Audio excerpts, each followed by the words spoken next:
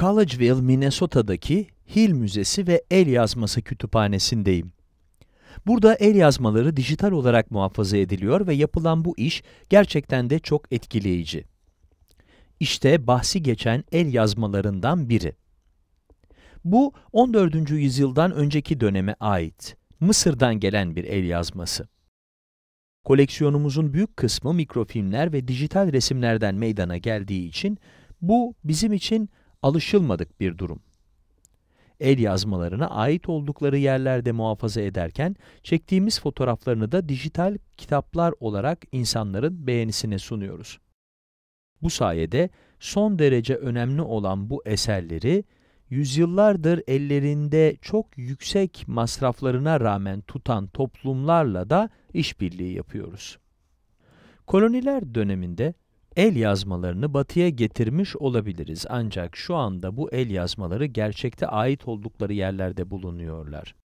Britanya Kütüphanesi ya da Fransa Kütüphanesi'ni düşündüğümüzde son derece zengin koleksiyona sahip olan bu kütüphanelerdeki el yazmalarının 18. ve 19. yüzyıllarda varlıklı insanlar tarafından fakir ya da bu eserlerin ne kadar kıymetli olduğunu anlayamayan insanlardan satın alındığını biliyoruz.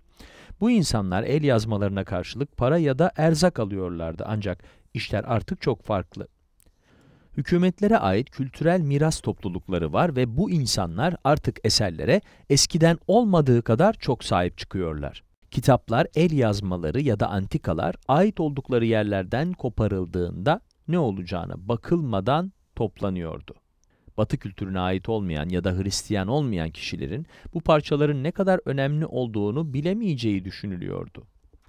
Ancak el yazmaları bulundukları yere kültürel ve lisan açısından o kadar bağlı oluyordu ki, o topluma ait olmayan birinin bu bağları kurabilmesi neredeyse imkansızdı.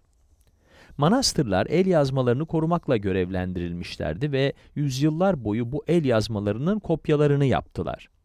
Hemen hemen herkesin orta çağda el yazması kopyalayan rahiplere ait bir resim gördüğünü düşünüyorum.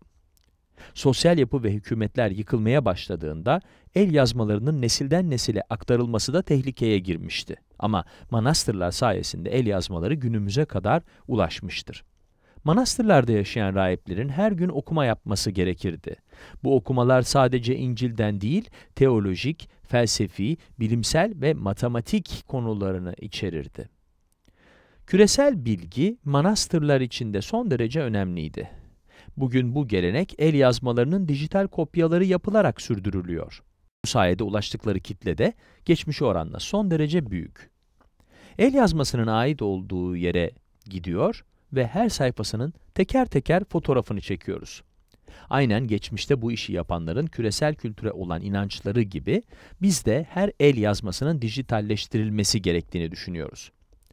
Biz göremeyecek olsak da bundan 100 yıl sonra bu el yazmalarından faydalanacak insanlar olabilir. Kütüphane sadece Hristiyanlığa ait olanları değil, diğer dini inançlara ait el yazmalarını da dijitalleştiriyor. Son dönemde bulundukları yerlerde tehlike altında olan İslami el yazmalarına odaklandık. Kütüphane, farklı coğrafyalarda bulunan yüzlerce farklı kütüphane ile işbirliği içerisinde. Şu ana kadar 500 farklı kütüphane ile çalıştık. Ulaşılabilir olmak sanırım bu proje için çok önemli. Ulaşılabilirlik farklı şekillerde işliyor.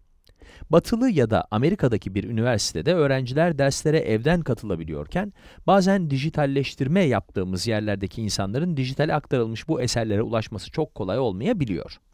Ya da örneğin yakın zamanda çalıştığımız Suriye'deki bir kütüphanede el yazmasının orijinali ne yazık ki artık kullanılabilecek durumda değil. Bu topluluklar arasındaki ilişkiyi güçlendirebilecek işbirlikleri arıyoruz. Orta Doğu'da ya da gelişmekte olan ülkelerde bulunan kütüphanelere kıyasla avantajımız nedir diye sorarsanız, bu kütüphaneler tek bir yerde, tek bir kültüre, tek bir lisana ait eserleri sergiliyorlar.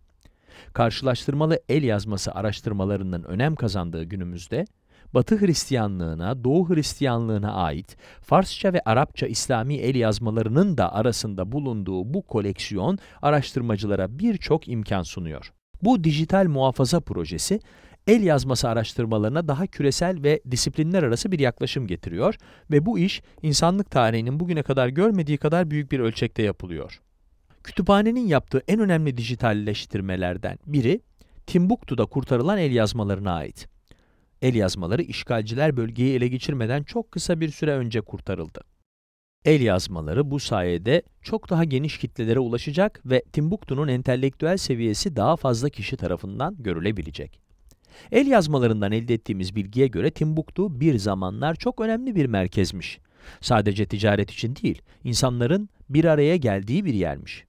Timbuktu ve İspanya, Timbuktu ve Mısır arasındaki bağlantılar, İslam dünyasının bilim merkezleri bu şekilde birbirine bağlıymış işte. Bunları görmüş olduk. Modern çağ öncesindeki dünya aslında bizim sandığımızdan daha mobil bir dünyaymış. Mali'deki politik sorunlar yüzünden bu projenin hala önemli bir proje olduğunu söyleyebilirim. Bu bölgelerde kendi fikirleri ya da dinleri ile örtüşüyor olsa bile işgalciler İslami el yazmalarını hedef alabilirler. Evet, el yazmaları her zaman tehlike altındaydı.